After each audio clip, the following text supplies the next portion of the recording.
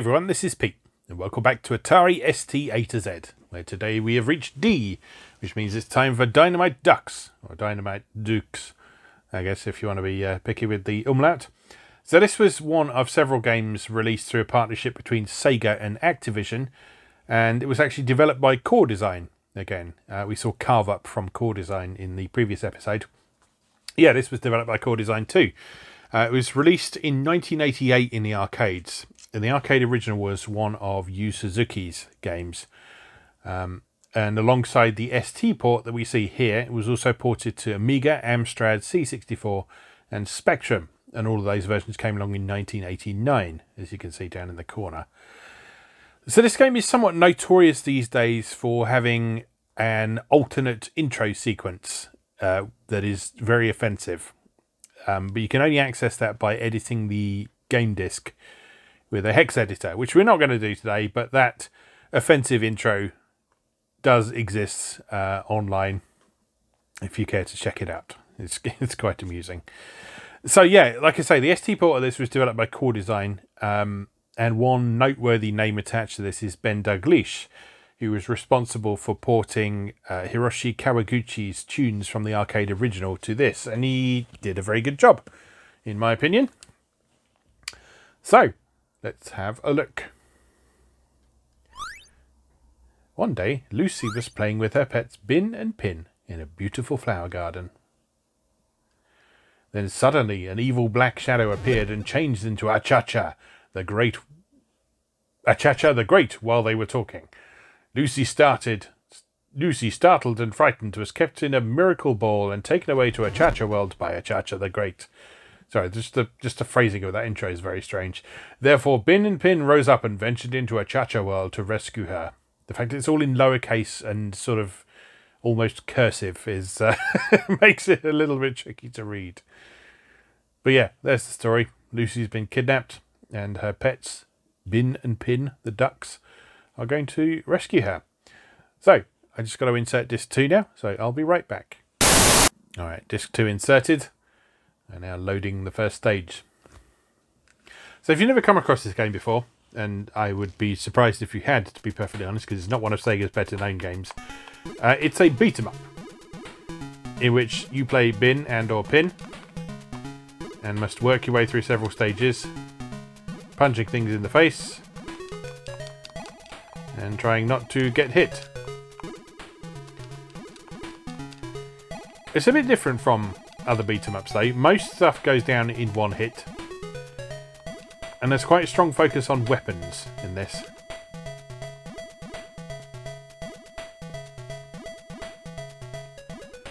So you'll find lots of weapons lying around.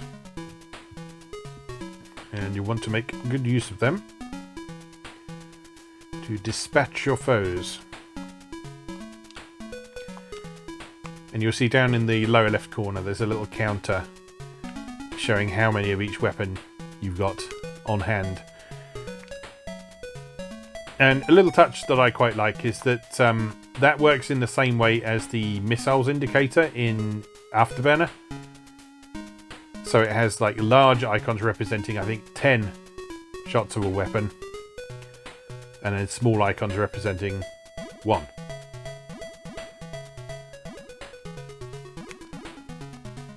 And you see, there's some interesting ideas in this, like splash damage.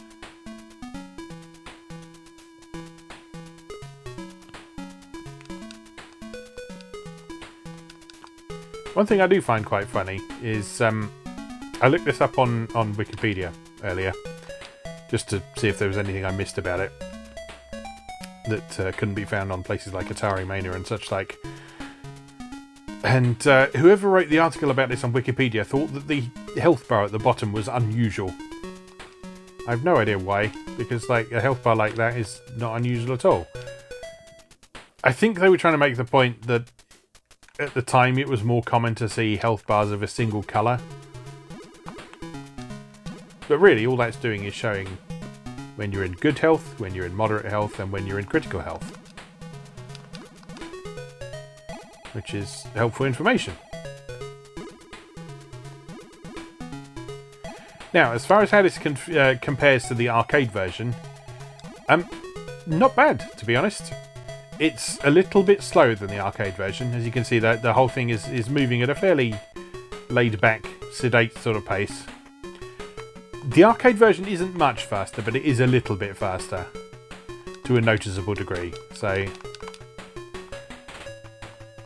but aside from that, the the graphics are pretty close, and Ben Daglish's porting of the music is very good. Using the limited resources of the ST sound chip, just three channels of audio, he's managed to really capture the essence of the original music.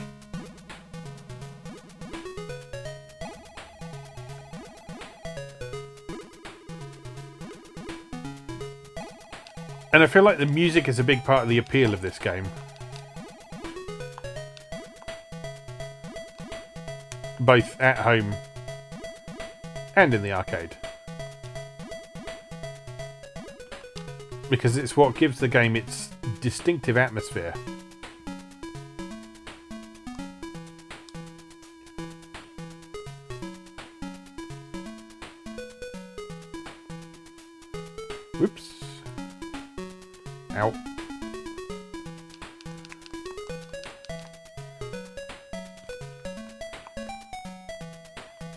As usual, we don't really have any... In fact, we don't have any sound effects while we're playing because the music's playing. We talked a little bit about this with Carve Up. That's not at all uncommon for 16-bit games in general, not just ST ones. Because both the ST and the Amiga only had a limited number of sound channels to play with.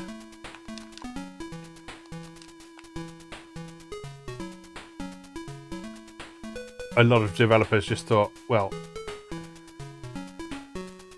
let's get some music in there because that that sounds a bit better. This is awkward.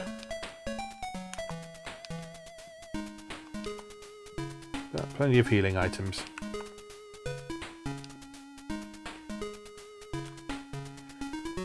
I think as well what we have with this is the quite common situation that you have with home ports of arcade games, which is that this version is quite a bit easier than the arcade version. Partly because it's slower, but partly just I think it's a little bit it's balanced a little bit more in favour of the player. I think there's more healing items. I don't think you take quite as much damage.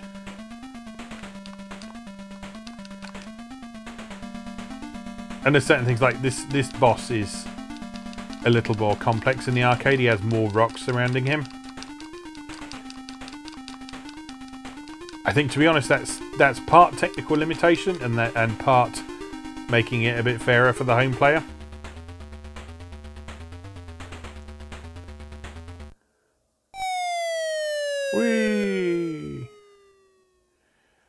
But either way, yeah, this is this is a pretty solid port.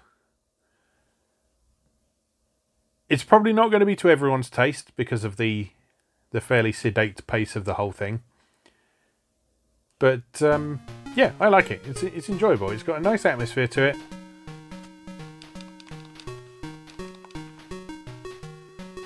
And it works well. A few slightly annoying enemies on this stage. These moles popping out of nowhere. You do get a bit of advance notice, I guess.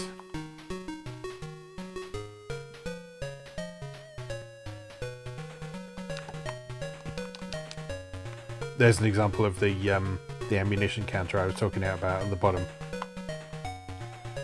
So there we got one, two, three, four, five, and then ten more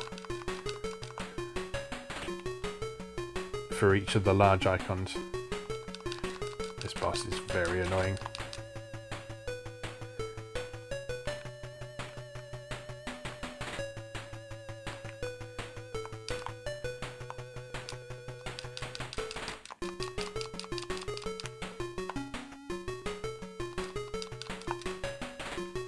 Yeah, this this boss is one of the one of the less well designed parts of the game. And it was it was a bit like that in the arcade version, but I think actually the collision detection in the arcade version was a little more um, a little more lenient because you could you could sort of shoot the um, the kids who were carrying the, the bits of the dragon as well as just the bits of the dragon.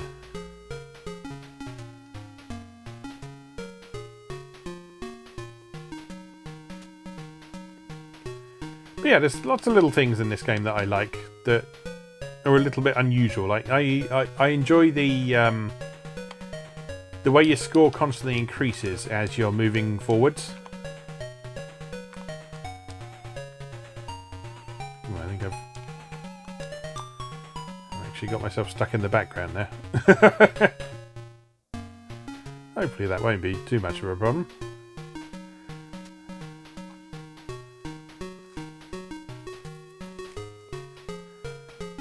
I guess I guess we'll see.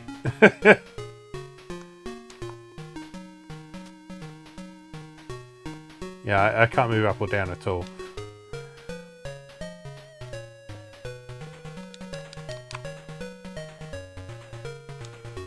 I can't jump out of it. I can't jump into the background.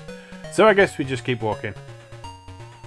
That's the other thing I like about this game is the, the, the goal meter at the top showing you exactly how far through the stage you've got to go.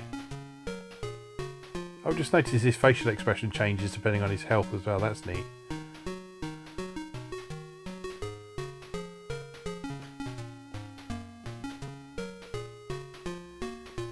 But yeah, I guess we just, I guess for now we just walk. We just walk.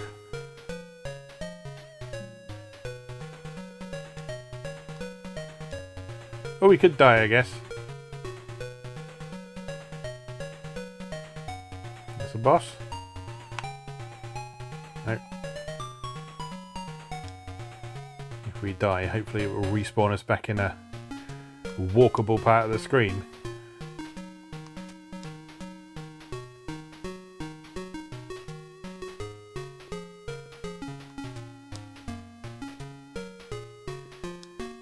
But for now, just trudging onwards, ever onwards.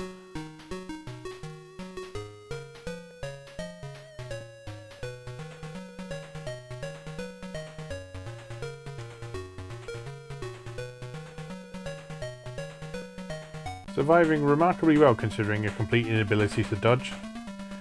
But this will probably uh, take care of us. Get out of the background.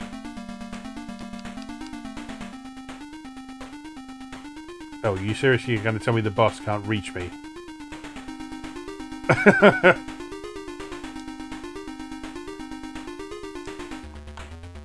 yeah, that's that's a problem. Oh, I can hit them though. I can hit the clouds around him anyway. That's better than nothing.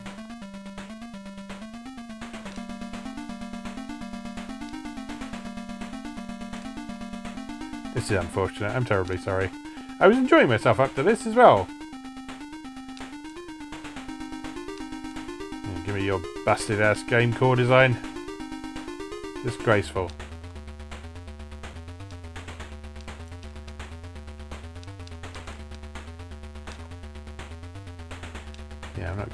Anytime soon, am I?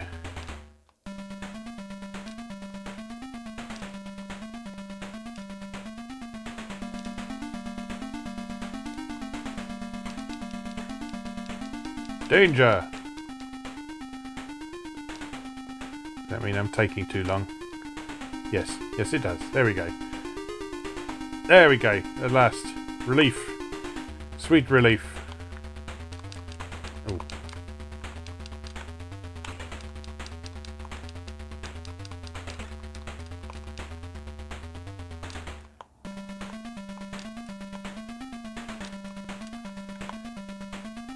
This guy's a bit of a prick. I think we've got three continues, eh? So let's let's see how far we can get. Continue, yes please. Punchy, punchy, punchy, punchy, punch, punch, punch, punch, punch. Oh dear.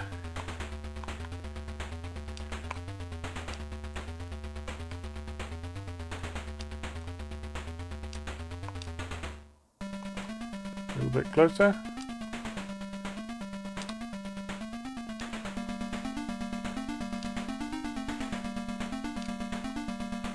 Just get rid of those clouds, we'll be sorted. Oh. I probably could have killed him from the background. Because it seems he was taking damage from me hitting the clouds as well. Never mind.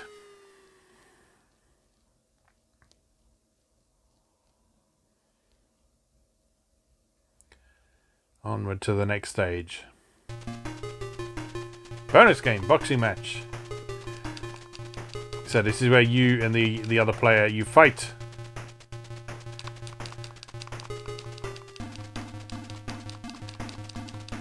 And whoever wins gets some sort of bonus, I think. It's not the most in-depth fighting system you'll ever see.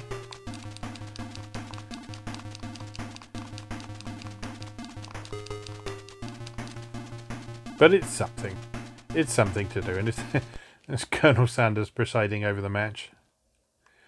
I saw there was a there was a Kentucky Fried Chicken in the background of one of the stages, the first one, I think. Stage three, jungle.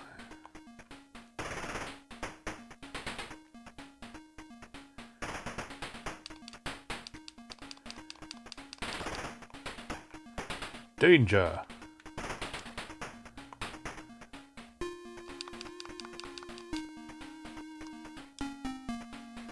Tell if that was full damage or just uh, me getting hit the same time I fell down the pit.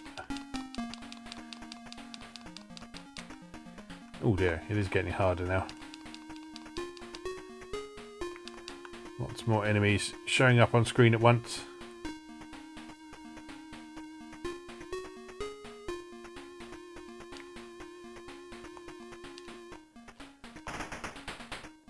Sensible use of these weapons.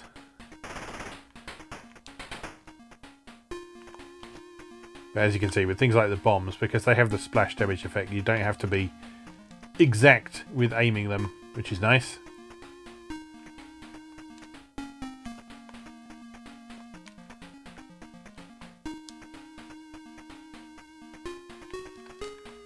I guess you can jump to dodge some of these attacks as well. What is this? You jump to dodge missiles? No. Well, you can shoot the missiles, though. That's something.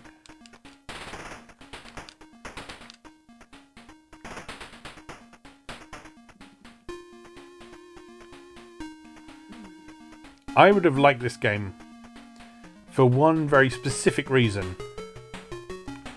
I've talked about this a few times on this series before. About how, when I was a kid, I had certain weird, very specific things about video games that I liked. One of them was racing games with hills in. Platformers with hills in. Um, and for a while, I was absolutely obsessed with the idea of games showing visible onomatopoeia, sort of comic book style. And I suspect I would have had a lot of time for this game based on all the little biffs and pows and booms from you punching dudes.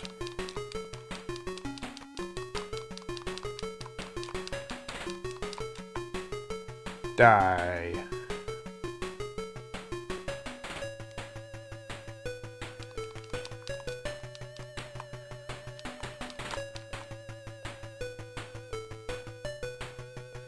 Incidentally, if you're wondering how I am attacking and jumping using a single button controller, as you would have done on the Atari ST, uh, jump is actually mapped to spacebar in single player mode, but it's mapped to, I think, shift if you're playing uh, two player mode.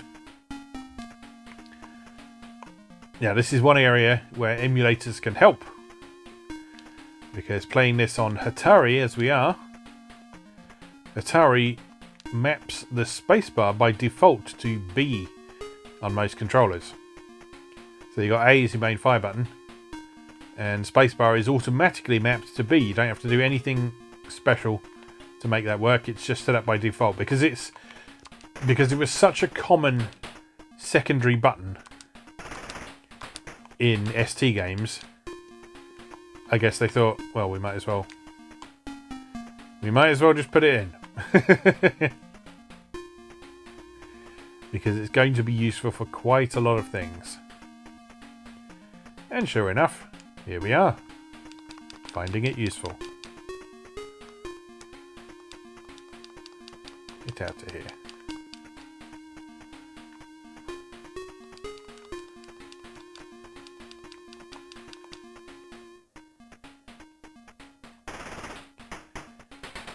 Yeah, this is this is a fun little game. Like I say, the the slow speed might put a lot of people off. But once you get used to that, of the very deliberate way the game plays, gives you plenty of time to get into position and to avoid enemies and to set up your own attacks.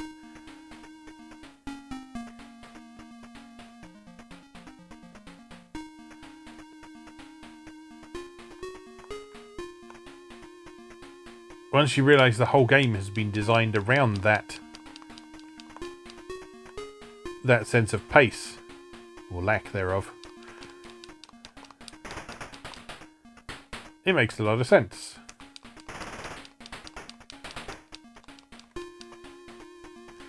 The one thing it does lack a little bit is a good sense of impact for the hits. I mean yes yes the enemies do do sort of flinch and go flying and so on, but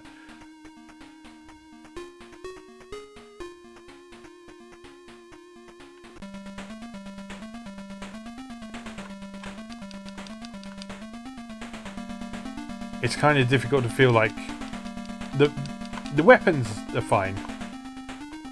It's the punches. It's hard to feel like they're really connecting sometimes.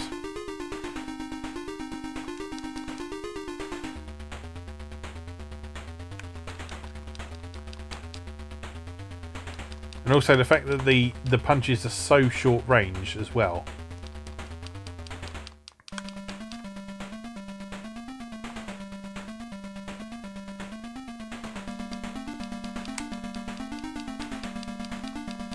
And make bosses like this quite difficult because it's it's kind of hard to see what you're supposed to be doing really.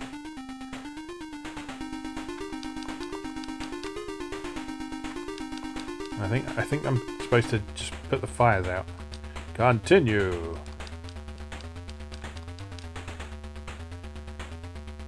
And we have to do that with the weapon, not the... We can't do it by punching. Because that makes sense, because you can't put a fire out by punching it.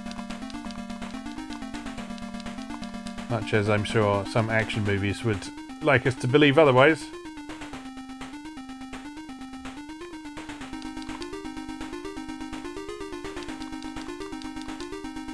There we go. All done, at last.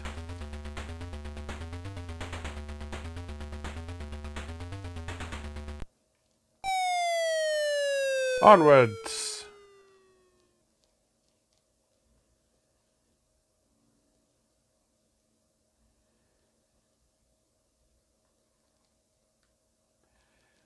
Stage 4, Chicago! Looks just like the real thing.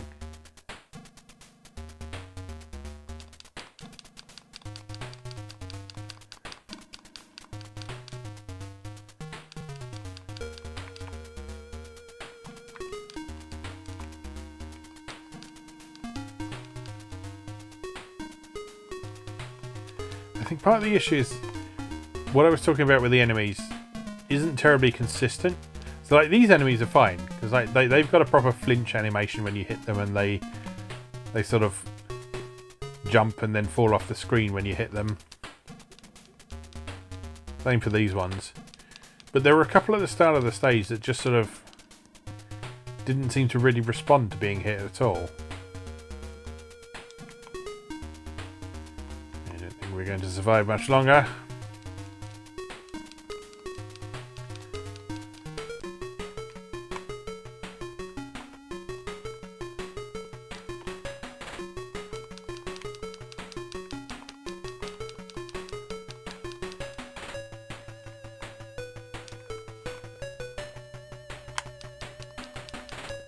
And yeah, the, the lack of impact on the bosses is a bit of a problem.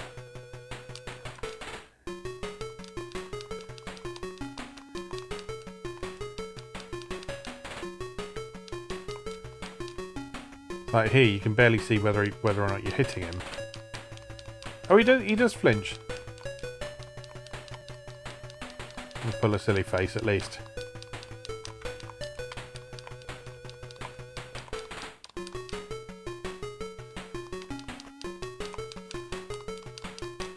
Positioning there is so...